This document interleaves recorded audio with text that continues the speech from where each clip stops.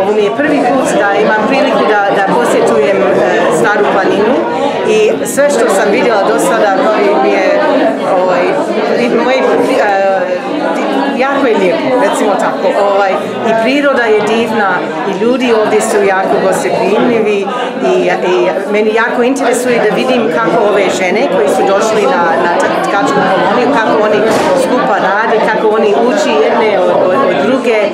ja mislim da je atmosfera ovdje u koloniji divna, i, ali i priroda naravno je isto toliko lijepo da je, da je stvarno drago da sam tu.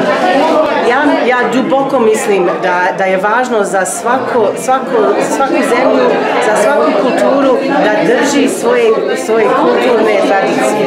I to što vi imate u ovom regionu, ove, ove prelijepe pirotske čilime, to je stvarno bogatstvo. To je nešto koji treba da se, da se, da se sadrži, ovaj, sačuva, hvala, sačuva u vašoj kulturi.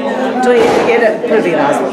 Ali u isto vrijeme za, za vladu Kanade i za mene lično mogu reći da je rodno ravnopravnost i snaživanje žene, žena jako važno kao prioritet.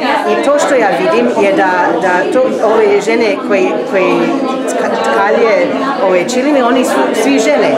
I to je važan, to je, za njih je važno imati te mogućnosti da prave za porodicu i da oni imaju mogućnosti da, da radi i da, da pokazaju svoju vrijednost u, um, community, zaboravila sam riječ, u zajednici, ali i da da, da oni imaju svoju ulogu. Ja mislim da to što Pirot je sad poznat po je, je važno za turizam isto, znači i žena imaju ulogu u, u, u, to što privlače turisti u, u Pirot, što je isto važno za lokalnu ekonomiju i za dobrobit ovih žena.